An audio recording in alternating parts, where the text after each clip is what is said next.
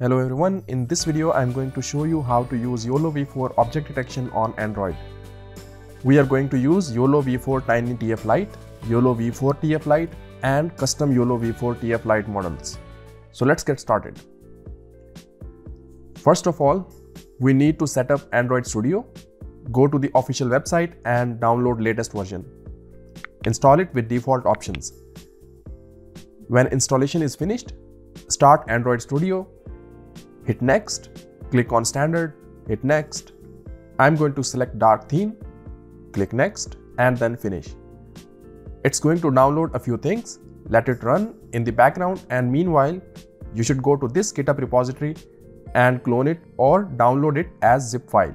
A little disclaimer that I have forked this repository from this author, so all the credits to the original author. Once the repository is cloned and the Android Studio has finished downloading bunch of stuff, click on open existing project and then head over to the clone repository and there is a folder called Android. Select it and hit OK.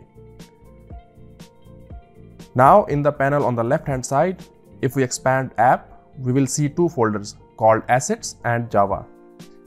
Assets contains the existing YOLO v4 Tiny TF Lite model, while the Java folder contains the codes to run object detection.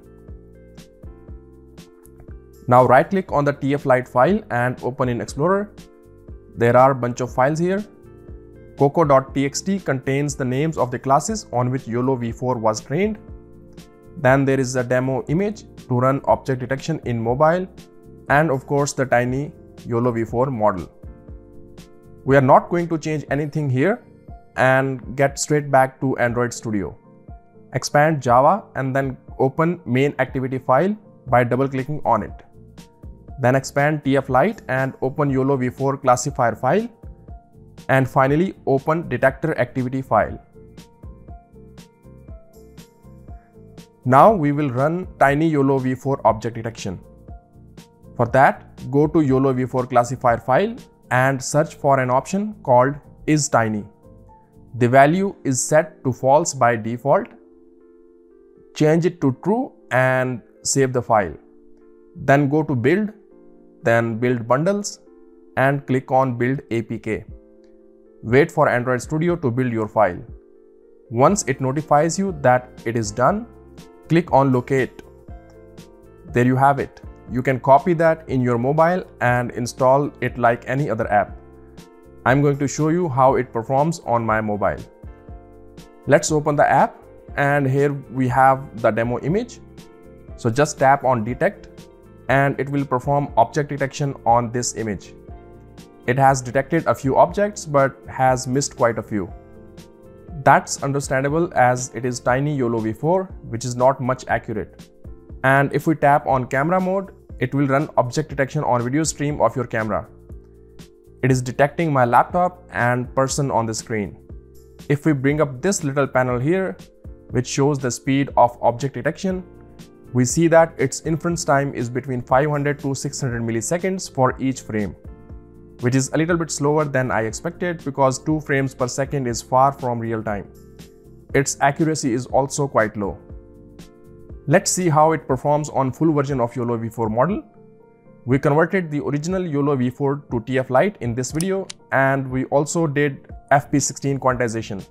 So we have got that file here I will copy the FP16 version of the file and paste it in the assets folder of our Android app.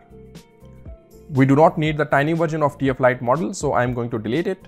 And let's also remove label map and detect files.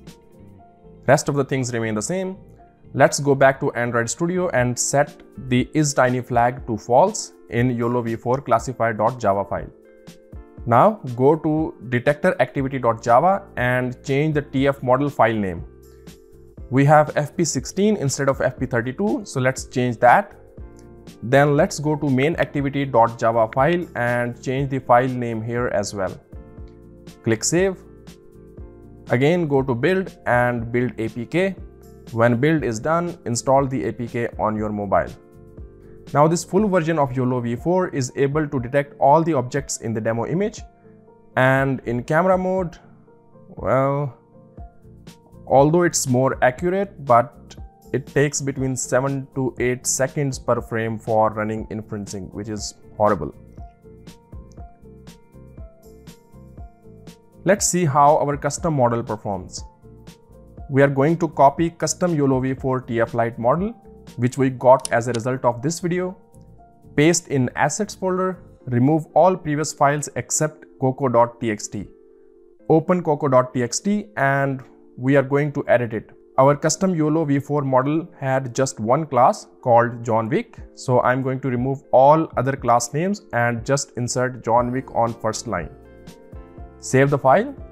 Then I'm going to put this wick.jpeg file for the demo in our mobile instead of kite.jpg. Now head back to Android Studio and change the TF Lite file name to custom underscore YOLO v4 underscore fp16.tf Lite in main activity.java file. Similarly, rename the file name in detector activity.java file as well. Then head back to main activity.java file and search for kite.jpg and replace it with wick.jpeg. That's it. Go to build and build APK again and install it on your mobile phone. Open the app and let's see how it performs on demo image. It detects John Wick and ignores Neo. So that's perfect.